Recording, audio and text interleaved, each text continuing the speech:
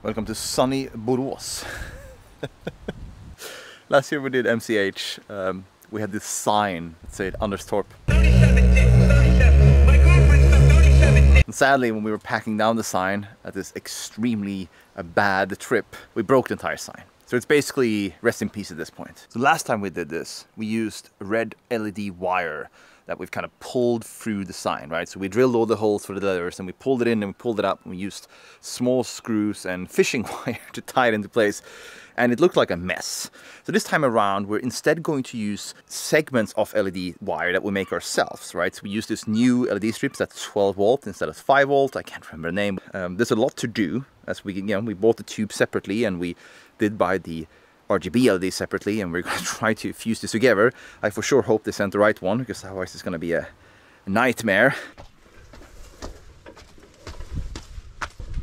Jävlar ska det byggas alltså.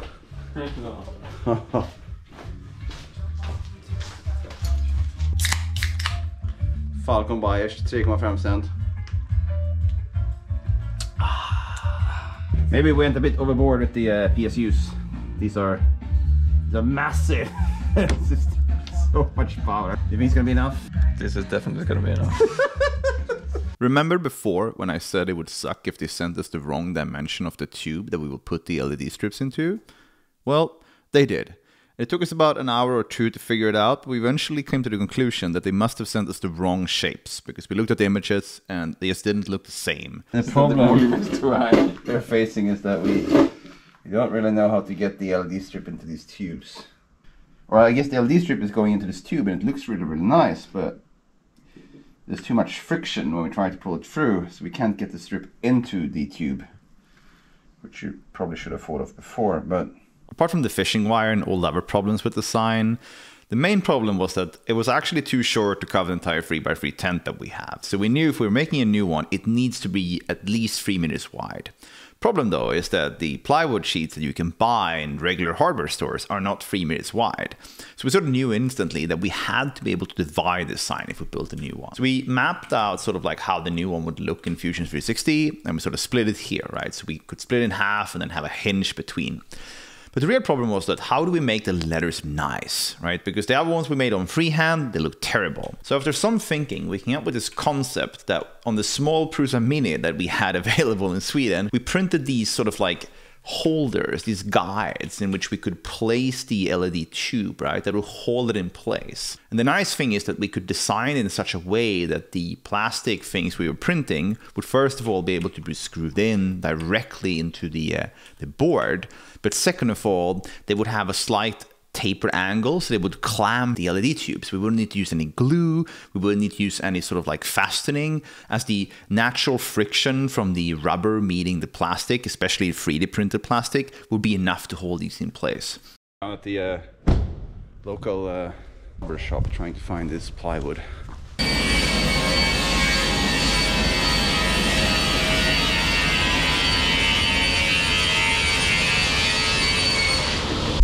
We did find uh, the board, but they had it in black, so we don't have to paint it, which is like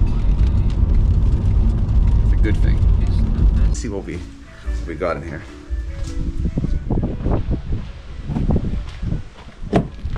That's uh, what we in Sweden refer to as an, a blåback.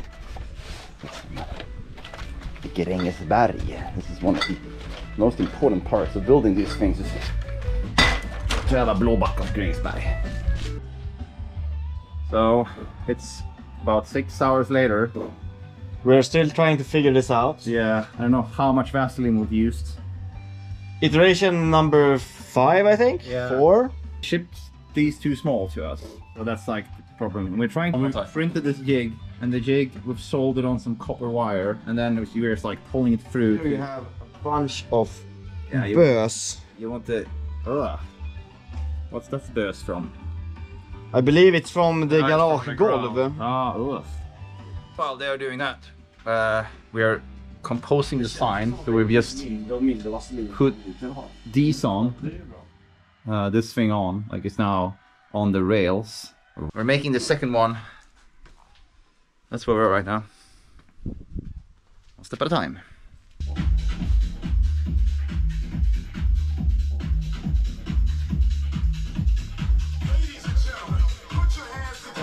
Ladies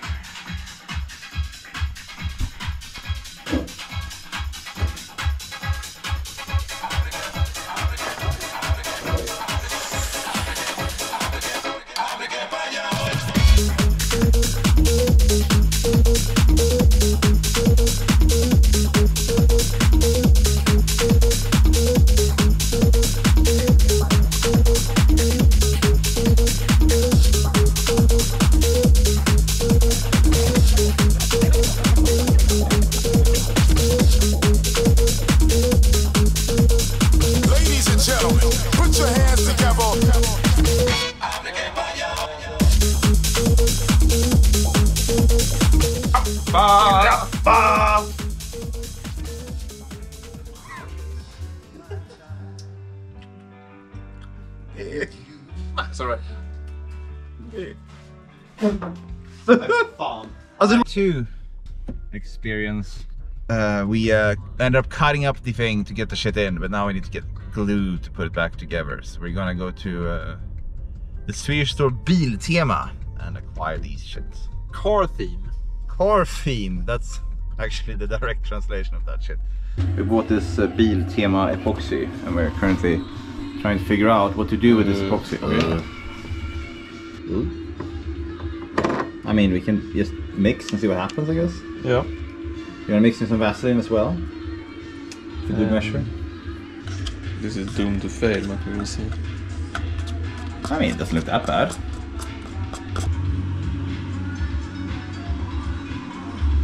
It doesn't really get down there. Some buts. We actually had to redo the S and the uh, D because the we used so much Vaseline that the epoxy glue didn't actually stick to anything. Which, in hindsight, is fucking obvious. But when we did it, I don't know what we were thinking. It didn't work out. But it used this uh, lubricant that you get apparently you're not supposed to use inside without ventilation because you get shit in your head, which we figured out after we having used a lot of it. So six hours later, we were like, what is going on? But now we ventilated. We had a couple of Åbro from the Blåbak, and we actually did them and it worked. So we are now back in business. It Works. That looks so good. That looks so good. It's so you can't see the individual LEDs, which is so nice. Finally, in the process of measuring this out now, we've 3D printed these small kind of brackets for the um, tube, and we've measured it out with or sketched there in Fusion 360 and we've just like kind of dotted so we can paint it out and now we're about to screw this in as you can see. After three days of struggling with this, we finally had some smooth sailing for ourselves. Mounting these brackets turned out to be super easy, and once we actually attached the tube, the friction idea that we had actually worked great. It just stuck immediately. Det är så nice när de blir sådär alltså. Åh gud vad snyggt det blir. Herregud alltså. Ska vi tända den eller?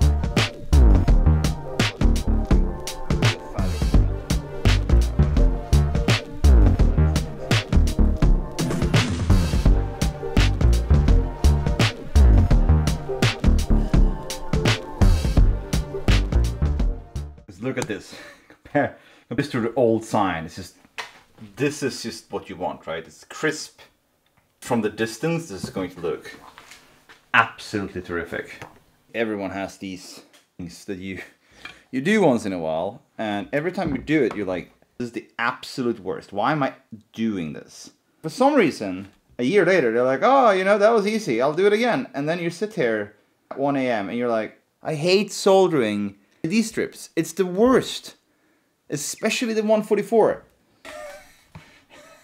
like this is horrible. It's just horrible. So here I am again, alone in the garage where I grew up, just sitting and just soldering LEDs once more. One, one more time with feeling, I guess, is what they say.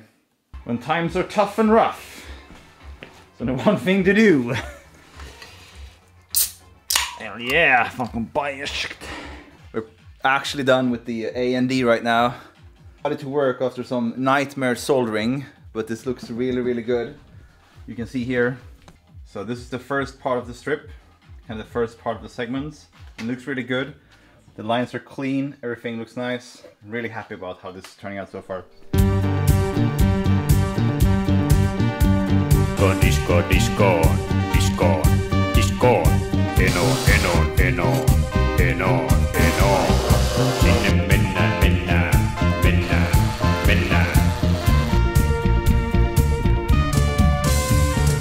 Many ifs and buts. It's finally soldered together. Oh god, the entire thing is done. Oh.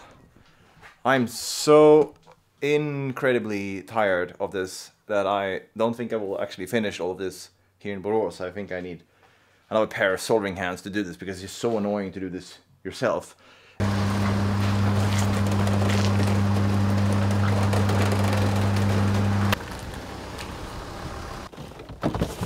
Fold them together, but maybe we can do it like if we put them standing, maybe. Yeah, that must be much better. Yeah, and then we'll have them just back to back. Ah, it's stuck. Like this. One year has passed since last time, and then sadly I'm not more intelligent apparently because I'm sitting here again in the same car that broke last time, and I just opened the 3.5% Pripps Blå in the car. And we just came into Anderstorp. If you've never been to Anderstorp, Anderstorp is a magnificent, magnificent city that has absolutely nothing. This is actually everything we're bringing to CCC camp. I have no idea how Oh my all of this is gonna so fit. much! How are we gonna fit this? We have everything. Plywood, tent, sleeping bag, The rack. some nice French carne. liquor, Italian liquor. Uh, grappa. Who's that? That's Göran Persson, Ah, the former uh, Swedish Prime Minister. ah, he's a he's a gentleman for sure. Okay, let's just put it down there. Perfect. And let's start. Let's make the S. Once more with feeling.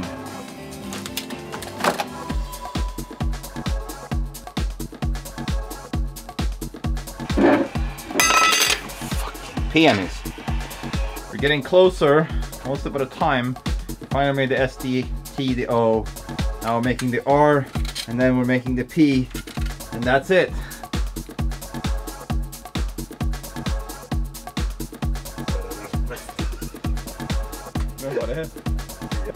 Yeah, Let's try and see if it works. it works. I can get these connectors. We fucked them up already. Yay! That works. Okay, let's try that one. Put these in. No, we forgot the uh, screws on them. Day one of the final build of the sign done. We got a lot done. Believe it or not, I don't even believe it. We are done with the second part of the sign, and that works, and all the connections are nice, and it looks clean. And now we're working on connecting the electronics of the first part of the sign. But it's almost 12 and we want to get to bed, so we're gonna sort of end it here. But there will be more tomorrow, that's for sure. A review for today. How do you It feel? was uh, quite a long shift. My back hurts. what was the most frustrating part about today? Probably in the end when you're uh, kind of tired, getting things mixed up. Did I connect this one? Is the ground connected to ground? And you just feel like I'm gonna mess up soon. Wait, are you telling me you didn't clean the lines?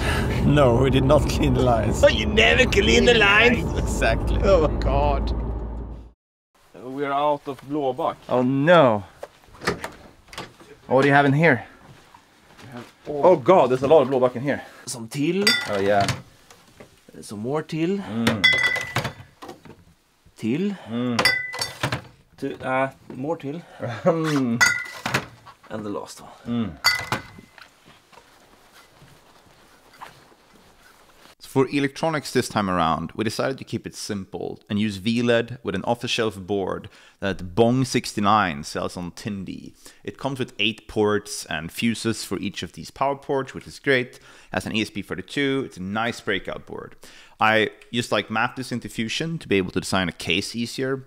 And from there, we designed this very, very simple case that just mounts the board, has these cable guides for the incoming cables, has an Ethernet port exposed that we just pipe through, and has like a lid that we put over it so it becomes mostly watertight.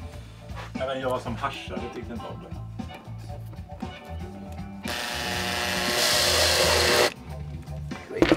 Put this here. That looks pretty good.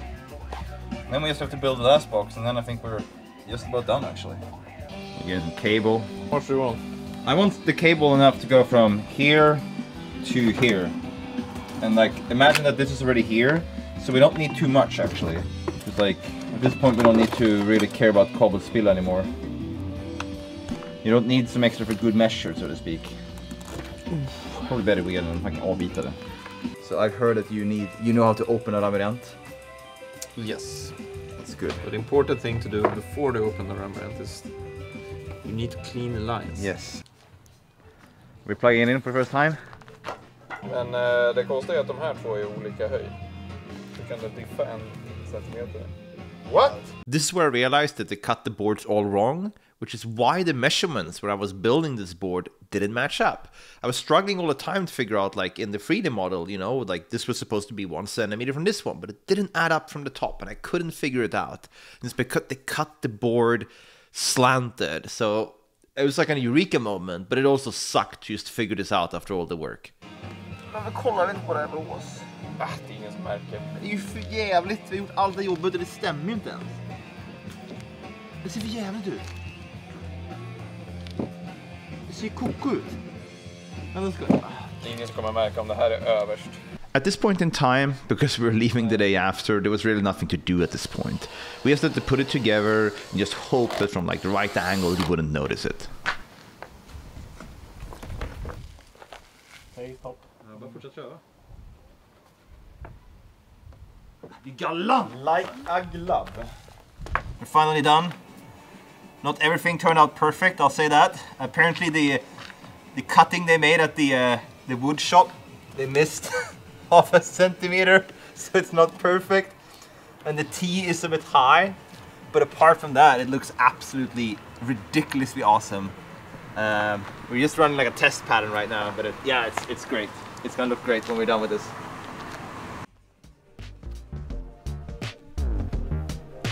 Det är så jävla skillnad.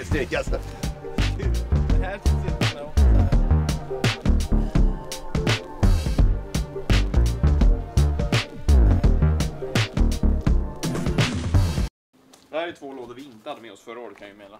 Göran Persson. Goodbye Göran. Ska. Will you do the honors? So packing all these things up, the only thing remaining was going down to Germany. But that's another 25 minute video, so I'm gonna upload a separate video for that, so please subscribe if you're interested in this. But for now, we're just gonna skip all the way to Germany and see how it turned out. We're trying to measure this, and it's going absolutely terrible.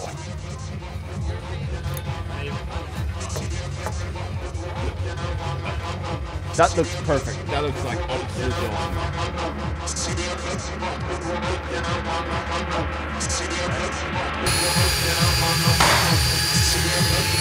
Measure once, drill, Drill twice. twice.